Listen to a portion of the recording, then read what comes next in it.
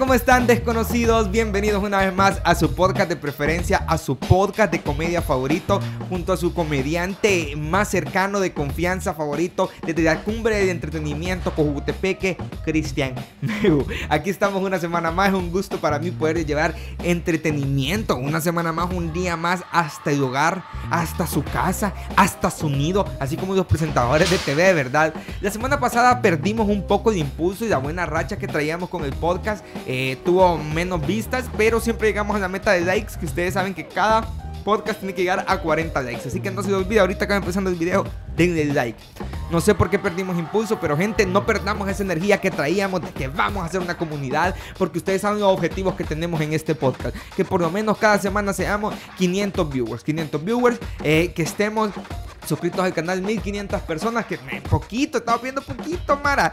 Y la mejor de todas, llegar a estar a la par de Toby Jr. en los podcasts más escuchados de El Salvador. Sí, porque ese día nos vamos a estrechar la mano con Toby Jr. de podcaster a podcaster y nos vamos a decir, Toby, te... Ah, no, no, ahora sí, vea. Nos vamos a decir como, Toby, somos iguales, somos iguales, estamos, estamos al mismo nivel somos los más escuchados del Salvador y, vamos, a, y vamos a hacer un programa juntos, dedicado eh, al pastor mayor Toby, ¿verdad? a él va a ir dedicado. Así que ya saben cuál es nuestra meta y sin nada más que decir, nos vamos a la intro. Bienvenidos al Desconocido Podcast con Cristian Meju. Estamos de regreso, gente. Ya saben, ya saben cuál es su misión. Siempre darle like y comentar. Comenten un montón, comenten un montón. 10 comentarios por persona no estarían mal, ¿verdad? Porque así es como llegamos a más personas. Y cuando la gente entra y dice, puta, quizás este podcast estuvo chido. Como ustedes saben, estamos en pleno mes de septiembre. Y hoy estamos en viernes, a diferencia de las otras semanas que hemos estado en miércoles, hoy estamos en viernes. Porque, eh, pues, eh he estado un poquito ocupadillo y también yo dije, es un, es un, episodio especial, es un episodio especial, no es un episodio cualquiera, hagamos lo mejor el viernes. Entonces, como estamos en esto de, bueno, de, los extintos desfiles, vean, estamos en, pleno septiembre, vamos a hablar ni más ni menos que de la independencia. Sí, señores, porque hace dos días, el miércoles, no, no hace tres días, el martes estuvimos celebrando la independencia de este país y vamos a hablar de la independencia de forma más general. Vamos a hablar tanto de lo que, lo que significa la palabra independencia, como ya lo hacemos en este podcast, y de nuestro país, de nuestro país, claro que Entonces, vamos a empezar con el concepto de independencia, ¿verdad? Independencia viene de cualidad de independiente. Quiere decir que no guarda dependencia con otra cosa. O sea, es paja mara que alguien es 100% independencia, eh, independiente, perdón, que dice yo no necesito nadie, mi hermano era así antes, yo no necesito nadie, soy independiente. Y después ahí nos va a dar la trompa. Claro que sí, porque nadie es 100% independiente. Todos en un momento necesitamos de otras personas. Por eso somos como, somos una sociedad, ¿verdad? Y nos conformamos entre todas las personas. Nadie, eh, hay, hay Mara que, ni puede, que vive sola y no puede cocinar. Imagínense, es lo mismo, pues. O sea, estamos en las mismas no hay para dónde. ¿Entienden? Pero como en todas y en muchas cosas hay dos conceptos. También tenemos el concepto de condición del territorio, que no depende políticamente de otro. Bueno, ahora que ya tenemos este concepto, ¿vea? ya ni entendemos qué diablos estamos celebrando en este país. Sí, lo, último que, lo último que vamos a lograr nosotros es no poder, eh, eh, no poder ser independientes, ¿verdad? Independientes de, de, pues sí, de otro territorio. Porque ustedes saben, vean, nosotros nos debemos abajo. A mí ya sabrás, a mi tío Sam, el Bayou No, allá donde te saluda tu tía Yancy, allá donde nos escuchan nuestros hermanos lejanos. Claro que sí, un saludo, por cierto, a los hermanos lejanos. Allá en el Norris, en el Norris, está quien mandaba. Está el mero mero, el Bayou No. Vos sabrás. Y si vamos a hablar de independencia, que mejor, pues sí, como vamos a obviar este gran tema la independencia de El Salvador, ¿verdad? Nos vamos a retomar aquel tiempo Eh, como ya lo dije, ¿verdad? Eh, eh, independencia de España. De España, claramente, porque independencia total, quién sabe, ¿verdad? Quién sabe. No todos sabemos que no, gente. O sea, esto no es para dónde, no hay que debatir. Yo hasta ahora no he encontrado a alguien que diga, más si somos 100% independientes. Fíjate, ahí sí la cagaste, Megu. Ahí sí la cagaste porque somos 100% independientes. ¿Quién te ha dicho que no? Si lo somos, 100%. Mira, ve, decora. No, papi, eso es lo último que somos, así que eso no está en debate. Y ustedes se preguntarán, ¿cómo se generó la independencia en El Salvador? Ese es un tema que muchas personas se preguntan, o más bien, nadie se pregunta porque en este país aprender no vale verga, ¿verdad? Entonces, muy probablemente nadie se lo pregunta. Pero la independencia nace, gente, a partir del primer movimiento independentista, ¿verdad? O como muchos lo conocen, el primer grito de independencia, ¿verdad? El primer grito de independencia y este se dio por ustedes, o sea, hay mucha gente que yo estoy seguro que estos datos, por más que ustedes llevaban los cromos al colegio, por más que los ponen a investigar, no se acuerdan, no, no saben. No son patrióticos, dirían. dirían. El patriotismo, la verdad es que tampoco es como algo que estar tan orgulloso, ¿verdad? Porque implica muchas cosas. Pero en San Salvador se da el primer grito. Y es que como no, si la gente puta ahí gritona la gente en el gran bulla y como no vea, pero ¿cómo habrá sido el grito? Es la pregunta. Fue un 5 de noviembre, si alguien cumpleaños, allá por 1811, no había ni carro ni nada, o sea, en ese tiempo no había realmente tecnología. O sea, en vez de un grito, probablemente en la actualidad hubiera sido un post. O sea, probablemente hubiera sido un post así, o un tweet, vea, el tweet, el tweet oficial del grito de independencia. O, en YouTube, en YouTube, vea, el canal, el canal del gobierno hubiera subido. Nos independizamos. No creerás la redacción. No Puta, me trabé. Nos independizamos. No creerás la reacción de España. Así vea, así fue, en vez de un grito, porque un grito lo van a escuchar los días que están ahí, pero tipo ahí en San Michael no lo escucharon, pues, puta menos que tengan oído aviónico, pues sí. Hay que, hay que también esas cosas siempre hay que, hay que analizarlas. Y yo estoy seguro que ha de haber sido ahí en Soyapango, en Apopa, porque eso de andar gritando es de gente de verguera. Entonces, tuvo que haber sido ahí de, esos, de esos coloridos municipios, ¿verdad? De uno de esos. Y esta, este movimiento independentista se generó porque, pues sí, la Mara estaba brava. La Mara estaba brava con la capitanía de allá de Guatemala, estaban perros, la gente de aquí dijo ya, esos más ya no los queremos. Porque les voy, les voy a poner un ejemplo más o menos. Ustedes, hagamos de caso que usted quiere vender un celular. Usted quiere vender un celular y usted sabe y conoce el cliente. El cliente que lo quiere. Usted sabe que esa persona lo quiere. Pero para poder llegar a esa persona necesita un intermediario. Porque quizás no tiene el contacto no tiene algo. Entonces viene el intermediario y en vez de decirle, hey, sí, viejo, te voy a ayudar. Puta, dice, vení viejo, pero el que va a ganar las bolitas aquí, el que se va a hacer rico de esto, soy yo y vos como es mi phone, vea. Eh, en este caso el phone es el dañil que nosotros hacíamos y otro grano, y otro grano. Y nosotros siendo los más perrotes, vea, en, producir. Entonces dijimos como Nel perro, Nel perro, esa onda a nosotros no nos llega, que nos esté hueveando, men. Entonces vamos a poner un alto viejo. Y entonces, puta, así empezó, pero, pero, no funcionó. Como pueden ver, no funcionó porque no fue, en no fue el 5 de noviembre de 1811 que nos independizamos. Nadie quería hacer spoiler, pero no, funcionó, no funcionó, no se dio. No, no, no se dio. O sea, simplemente no se dio. ¿Y quiénes, pues, ¿y quiénes empezaron ese vergue? Van a preguntar ustedes en casita. ¿Quién? Pues quién fue el revoltoso, el que dijo, maje, independicémonos, puta, ya muchos nos están haciendo mierda, independicémonos, vea. ¿Quién fue el que dijo eso? Pues estaba hecho por unos batitos ahí, por unos you know, que se las podían. Entre ellos el famoso Manuel José Arce. A huevo. Que fue el primer presidente de Centroamérica, perro. No de Guatemala, no de El Salvador, no de Nicaragua, no de Costa Rica, de, el, de Centroamérica, perro. o sea, el sueño frustrado de, de Nayib, vea, o dejó ser presidente de Centroamérica.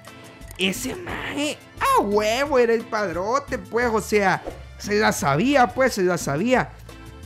El maje eh, eh, eh, estaba en la juega, pues era como, imagínate todo el territorio que él gobernaba, con que estos majes que huevean aquí en un pedacito, no huevean, imagínate ser el presidente de todo ese gran pigo. Pero huevo, que tampoco no era como que pues sí tenía todo el apoyo, ¿verdad? Hasta cierto punto cuando los majes querían se le revesaban. Ese, esa es la verdad.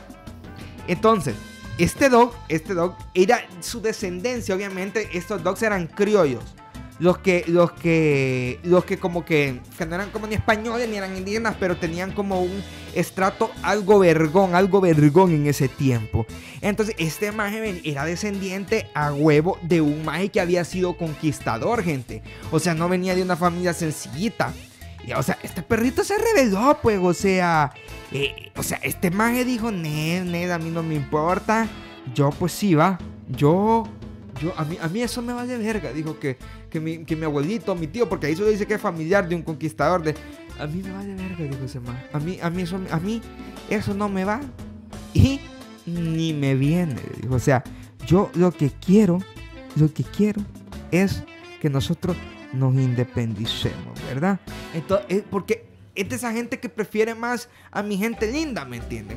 Él dijo, nada, me adoro una morenita. Yo, o sea, quizá, yo creo que Manuel José Arce se ha de haber enamorado de una guanaquita, así, una guanaquita 503 de allá de San Miguel, y ha de haber dicho, puta mamacita, yo lo voy a liberar, le yo lo voy liberar de todo el yugo de los españoles. O sea, que ya no nos sigan explotando los salvadoreños. Por eso no te preocupé, por eso no te preocupé, Yancy. Así fue como Manuel José Arce. Yo que, porque, ¿qué impuso? O sea, cuando vos venías así como de una comunidad, es bien difícil tener como lo que llaman empatía. Vea, un amigo me decía: empatía es hipocresía, maje. O sea, vea, entonces, a huevo que quizás ese maje se enamoró de una guanaquita 503 y esa, y esa era la, era la gana, la gana de que, de que salvar al pueblo salvadoreño. No crean que de buena fe. Y por eso, por andar en esos desvergues, obviamente, como era de esperar en ese tiempo y en El Salvador, lo metieron preso. Así como lo oyen. El tío, el abuelo, no sé quién, conquistó América y a él, pues lo conquistó la cárcel, ¿verdad? Ahí en Bartocha estuvo Manuel José Arce y pues al final de todo ha de haber salido, ¿verdad? Y cómo, pero mire, ¿cómo no iba a terminar preso Manuel José Arce si Manuel José Arce era un filósofo? O sea, iba a ir preso sí o sí. Ustedes conocen a los filósofos. O se los meten preso por desvergueros o porque le encontraron mota. O sea, ese era un hecho. Manuel José Arce estaba condenado a vivir la vida calle, you know. Y después, en todo este revuelo, ¿verdad? En la búsqueda de, pues sí, de, que, de querer buscar la, la independencia. Hubo, una, hubo un momento en que México, México, o sea, el imperio español, quiso anexar a Centroamérica. O sea, no quisieron hacer uno solo. Dieron perritos, vamos a hacer un imperio, papá, que te cagás. Un imperio, papá, que te va de culo, ya sabes, O sea, vamos a armar un imperio. Y entonces, Manuel José Arce, como era el presidente de Centroamérica, tuvo que ir hasta la USA, María, que el tiempo no habían aviones, José. Se me fue en carruajes a ver cómo diablo hasta la USA a reunirse. Hasta, o sea, se echó todo el viaje que echó tu tío cuando se fue mojado para la USA. Manuel José Arce se lo dio todo para ir allá y decir, ¿se quieren anexar? No. Bueno, vamos, vamos, vamos porque nos atrasa el carruaje y ya sale la última carreta. Lo curioso de Manuel José Arce es que cuando Manuel José Arce gobernaba, él era un liberal, era de pensamiento liberal, pero era un naivcito en elecciones, porque al margen hasta los conservadores lo apoyaron. Al final, pues ya terminaron dando vueltas, lo terminaron despachando. Otro personaje importante de este primer movimiento independentista fue el, el señor honorable José Matías Delgado. Vea que para los que no saben, eso no es solo una universidad, vea, porque usted pensaba, y eso más que donde estudia mi prima, ¿será? No sabía que era un proceso. Yo pensé que era una universidad. No, o sea, para que esa universidad haya puesto así, porque tuvo que hacer algún, algún personaje histórico, ¿verdad? Este doggy fue un político salvadoreño. Fue licenciado también y doctor en cánones. O sea, yo entiendo que quizás era como, como fotógrafo, ¿vea? Porque Canon, pues imagino que él manejaba las, cámaras Canon. Ah, no, entiendo, no soy tan imbécil. Eh, algo ha de significar, pero no es eso. pero, quería hacer el chiste, ¿verdad? Quería hacer chiste. Eh, si le dio risa a alguien, pues gracias. Si no, pues así es este, esta mierda. tirar chistes pura mierda, pues sí, uno va a pegar, uno va a pegar. Y firman, o sea, eh, firma, fue firmante, o sea, años después, vea, va a ser de los firmantes de los, del acta de independencia. O sea, como miembro de la diputación, vea, de maestro de diputado, eh, pues sí. Pero todo esto, Mara, todo esto era apenas la previa, como quien dice el precopeo, vea, antes de irse al de verga, antes, como quien dice el asadito, antes de irse al estadio a poner una gran tarea, era la previa nada más. O sea, el de verga aquí estaba por empezar, esto no era lo bueno. Como pueden ver, vea, en ese momento no funcionó, no funcionó. O sea, eh, porque pues sí, o sea, había pedo, o sea, había pedo en Centroamérica, eh, no sabían, vea, entonces no me pudo dar. No me pudo dar, no tuvo el apoyo que querían. Y entonces, pues, pues sí, pues. Eso es parte de historia. Y así se aprende. Aprendemos gozando. Aprendemos, aprendemos riendo. Aprendemos eh, yendo la escuela. Vean, no escuchando estos podcasts. Entonces, posteriormente, bandita, se viene lo que viene siendo la independencia centroamericana, Mara. O sea, porque esto no fue solo así de uno, solo fue, o sea, sí, el vergo fue masivo, fue vamos a independizarnos todos perritos o nadie, o todos en la cama o todo en el suelo. Así dieron en ese tiempo. Y entonces el 15 de septiembre de 1821, para los que no sabían, no es un día de asueto, porque hay gente que, que, que celebra el, día, el 15 de septiembre, ah, vacaciones, vacaciones se celebra. Es un día que no vamos a la escuela, un día que no vamos a... No, no es el día que se firmó el acta de independencia.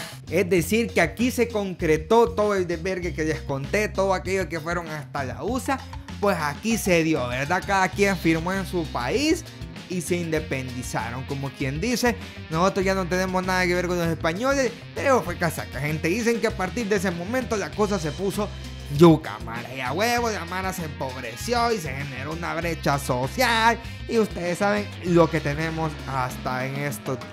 Porque todo lo que nosotros vivimos también es resultado de todos, de todos esos desvergues. Pero en este tiempo, dicen que fue en los cinco países, pero fue, ojo, ojo, relativamente pacífico. No te dice fue pacífico, fue relativamente pacífico.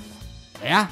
O sea, como que quizás si se putearon, eh, quizás si se dijeron un par de cosas, vea, pero fue relativamente pacífico.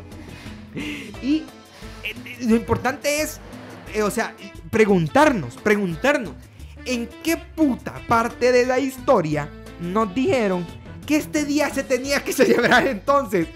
con bandas, niños insolados y niñas menores de edad enseñando la pierna. O sea, ¿en qué momento Manuel José Arce dijo, mmm, y pues nosotros cómo los lideramos a cambio queremos una muchachita así una 20 por institución que sean menores de edad y que vayan enseñando pierna, vea?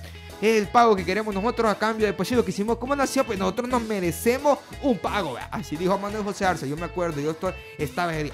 No, no así la onda. Y la mara aquí se enoja si atentas contra las cachiporras. Uf, papá. La gente aquí, o sea, entre todos los reclamos que le hacen al frente, vea, por las cagadas que hicieron a huevo, entre todos los reclamos le reclaman. ¿Se acuerdan cuando Funes quiso quitar la celebración de las cachiporras? Obvio, maje. Obvio, porque esa mierda.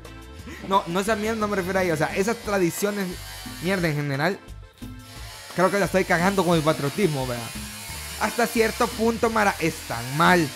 O sea, están mal. Yo creo que pues sí no está mal que vayan bailando, pero hay veces que sexualizan mucho esa figura. O sea, hay cachiporras que vos decís, maje, ese vestido no lo hicieron con, con fines coloridos, lo hicieron con fines de que la dicha enseñara más. Y yo creo que pues si eso ante los ojos de cualquiera está mal.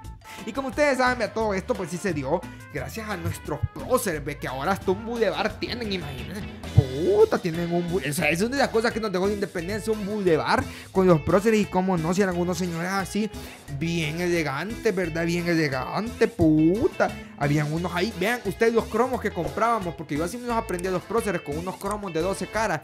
Había unos bien guapos, así bien barbones, perro con una gran plantilla, como quien dice, Don Prócer, ¿verdad? Don Prócer de la nación, vea. Esa es una de las grandes cosas que nos dejó, es un bulevar dedicado a ellos. También nos dejó, pues, si no fuera por la independencia, nunca hubiéramos tenido las donas al 2x1. Esa es una de las cosas que nos dejó la independencia, que todos los, todos los años tengamos un mes de donas al 2x1. Obviamente con, con menor calidad que antes, pero hay 2x1, ¿verdad? Usted que las cosas que se van al verga, ¿verdad? Usted agradezca, agradezca que hay vida, agradezca que... y pues, pues Otra, es que importante, es importante. O sea, para uno le puede pasar un, eh, muy poco trascendente quizás la independencia, pero hay gente que sí se la toma en serio. Es más, es yo creo que de los pocos días que Google nos hace un doodle especial. O sea, cada país hicieron una banderita porque la independencia es centroamericana. Y hasta Instagram nos hizo unos stickers así de que, de que bailando el torito pinto, vea, así en el acto cívico, vea.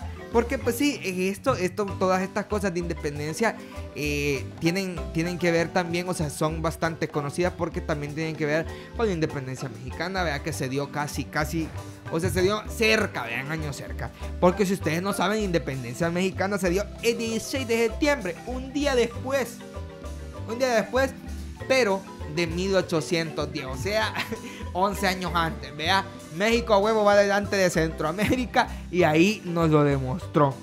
Pero allá sí, allá dicen que allá sí hubo de verde. En México sí se pararon bonito. Allá hubieron armas, dijeron que se agarraron de, la Revolución Francesa, o sea, de, de la independencia francesa. No sé cómo fue la onda, pero ellos agarraron casaca de ahí y a huevo y como tenían el apoyo de las élites, de la marita de boda, es como quien dice, eh, mañana los pomas se pusieran de lado del pueblo, que eso nunca va a pasar, vea, o como quien dice, eh, el bloque económico que apoya el presidente se puso de lado, nadie, los ricos no se, nunca van a estar del lado del pueblo, eso sepan, no me importa que me ganen enemigos por decir esto, pero los ricos nunca van a ser amigos del pueblo. entonces en ese tiempo, a huevo, los ricos liberales eran medio pensantes en México, entonces dijeron, maje, como mierda a salirnos, vamos a salirnos, vean. Y hay un montón de independencias importantes, o sea, como la independencia de Estados Unidos, la cual no investigué porque hasta ahorita se me ocurrió. Pero ahorita hay un movimiento independentista que se ha hecho muy famoso en el mundo, sobre todo gracias a la mediatización del fútbol, vea que es la independencia de Cataluña. Mara, claro que sí, de independencia de Cataluña. Hay gente que dice, David, Piqué porque anda metiendo en el de verga, en el futbolista y no es político. No, todas las personas somos seres políticos, sin importar su profesión. Eso sepan, todas las personas somos seres políticos. Y Cataluña se quiere independizar porque Mara es como que va. Vos seas como, estés con, estés con, no sé, Mara, como que vos le produzcas todo a un país. Vos sois lo que, vos tenés la plata y la gente te sigue viendo X. O sea, X, y es como más, yo ya me di cuenta que yo sostengo a este país y que si yo estoy teniendo pedos es por este país, entonces yo me voy a independizar. Y el movimiento es duro, el movimiento es duro. Pero están los conservadores, va, los que aman a los nazis y todo eso es como, no, perro, ustedes van a estar aquí junto a Franco toda la vida. Eh, vea, así es, así es. Y así se causan grandes desvergues, porque imagínense, pongámonos a pensar. ¿Cómo van a salir? Ellos van, ustedes creen que si Cataluña se llega a independizar de España, ¿Ustedes creen que van a haber cachiporras? Esa es mi pregunta. ¿Ustedes creen que en España van a salir las cachiporras?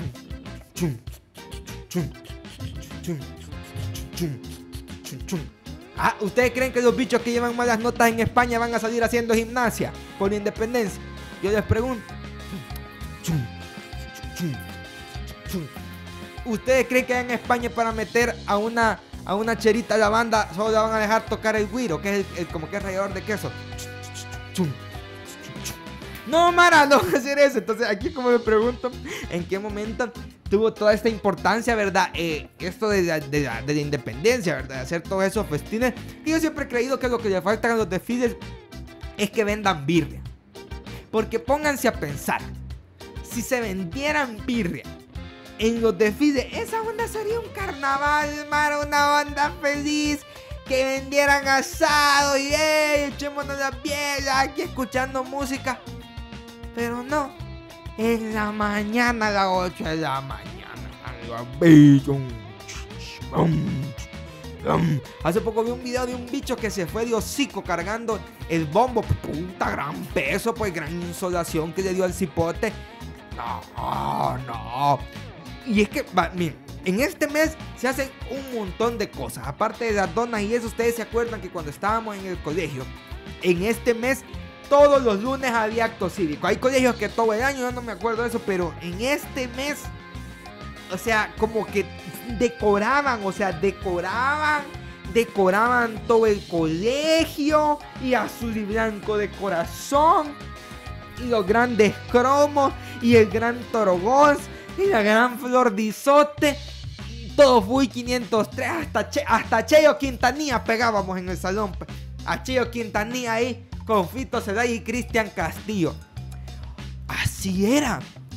Y, ahí, y, me acuerdo que, o sea, digamos, nosotros, al menos en, en el, en el colegio, teníamos la semana cívica. Había, eso era, eso era la semana cívica, que todos los días había algo. Todos los días un salón presentaba algo. Qué hueva, man. O sea, yo ya había, o sea, todos los años ver a un salón bailar el torito pinto no es chido. Sí es cierto que las tradiciones, pero no. No, eso sí daba hueva. Y ahí, ahí, o sea, en los colegios fancy, digamos, en los, en los colegios fancy, yo me he investigado, o en los colegios bilingües, sobre todo, hacían semanas, en las semanas cívicas, o no, hacían como una semana típica, o día típico, que hacían el día de la semana, de como de semana típica, o sea, hacían como, como que comían comida típica. Yo digo mi amigo como maje. En mi colegio, la semana típica era todo el tiempo, maje, porque es lo que vendían en la tienda, vea, o sea, o sea, ustedes estaban como muy, muy excluidos de la realidad de mi gente linda, de lo que come mi gente linda. Y como lo más cool, o sea, lo más fuerte que tiene este mes es, o sea, el hecho de que desfiles. ¿Quién no desfiló, Mara? Yo desfilé chiquito. O sea, me acuerdo que llevaba el tambor, pero mi sueño era ser más paloma y poder tocar la timbaleta algún día. Y obviamente no me la daban porque era un majecito todo chiquito. ¿A qué me iban a dar? Me iba, me iba a morir. Y ahí iba yo, pom, porrorón, pom, pom. Y lo que sí tengo bien claro y tengo súper presente es que los trajes para desfilar eran bien caros, gente. O sea, eso era un gasto que le tenías que hacer a tu mamá. Puya, que te comprara el traje y, ma, y, y que eran así hasta dos bichos. Hasta dos bichos por, por, por, por casa, ya que estudiaban que la bicha ya de cachiporra y el bicho en la banda. Carísimos los trajes, gente. Y como, ¿de dónde es que cada año Puta, que con tu capa, vea, que con tu gorro de capitán, vea. Ese era como, ese era como la juega. Y, y, y ensayan para ese día, porque es un día, en un día, casi todo el fucking año. Hay colegios que, pues puya, ensayan más de lo que le enseñan clases a la gente, pues así se las dejo. No dejan de ensayar nunca. O sea, para llegar a un solo día uno y es y es más se divide porque si ustedes no saben o al menos en San Salvador no sé cómo es pero aquí en mi pueblito así es el 14 es desfile de los niños como quien dice como quien dice el día de los muertos vea que el primero es el día de los, de los santos niños que mueren y el 2 es de los maestros que mueren entonces cabal los desfiles el 14 es de los niños y el 15 ya es de los grandes yo me acuerdo que yo solo pude desfilar 14 porque pues iba como a tercer grado pero yo verá en mi sueño era desfilar con los grandes con los grandes y a huevo ir ahí. Aquí en Cojute les dijeron, puta, como aquí se vieran, man, aquí las bandas ensayan como que no hay mañana. Aquí en Cojute les dijeron, bueno, para que pues sí, que aprovechen lo que han ensayado, para que aprovechen el gasto que han hecho, les vamos a hacer dos desfiles. Y así es como nació el desfile nocturno. Eso quiero creer yo, vea. Este- El desfile nocturno aquí se hace a huevo para es lo mismo, el mismo desfile del 15 de septiembre, pero en la noche. Y con una que otra carreta o con carreta carroza y con alguna cosa de colores. Ah, y así. Y lo chivo de esto, o sea, lo chivo de esto es que bueno, ni tan chivo. Pero lo que, como, como el juego de esto es ir y agarrar un buen puesto. Porque si agarras un mal puesto, no vas a ver bien el desfile. Pero pasa algo, que los desfiles te cagan la vida. Que vos estás a veces, bueno, si sos alto no tenés ningún problema, vea, te salvaste, sos el, el privilegiado. Pero si no, y pasa que muchas veces vos te quedás la orilla, para ver bien. Y llega alguien y se te pone enfrente. O sea, como quien dice, no, perro, de no va a ser aquí, de la voy a hacer yo. Así hay gente que te hace eso. No, gente, no sean así. No sean así. Los desfiles tienen su magia, ir temprano, esperar ahí en el sol, estar bebiendo agua en bolsa, ve a comprarte un Tugator, las mamás que van ahí, o sea, todo eso es por independencia. Todo es porque creemos que somos independientes. Ahí vamos con nuestra bandera y nuestros símbolos patrios y los símbolos patrios de Centroamérica, amando la patria y el siguiente día pidiendo donaciones a USAID. Así es El Salvador. Bueno, gente, se nos acabó el tiempo. Gracias por estar aquí una semana más en el Desconocido Podcast. Les vuelvo a decir, no perdamos la magia, no perdamos el espíritu, no perdamos la gana de hacer más grande este podcast. Sigamos siendo la comunidad y sigamos teniendo el entusiasmo que teníamos la semana pasada. Yo seguiré esforzándome por traerles eh, mejor material, por traerles temas interesantes cada semana. Así que ustedes, su misión ya saben, darle like, comentar y compartir. Y a huevos celebrar la independencia. Aprovechen porque si ustedes, bueno, ya, ya, muy, ya muy tarde, pero y tampoco hubieron desfiles. Pero algo que pasa en, 15 de septiembre es que si, como que si vos has desfilado, hay un montón de lugares que te hacen promociones los 15 de septiembre.